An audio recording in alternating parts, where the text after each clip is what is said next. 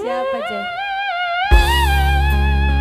Spesial Bahasa RL, rumah Gadis, Bapaknya Gadis.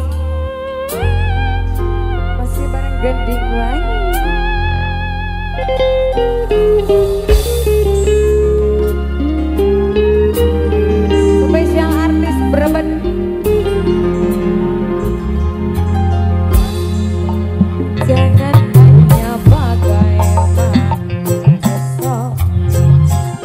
Linda.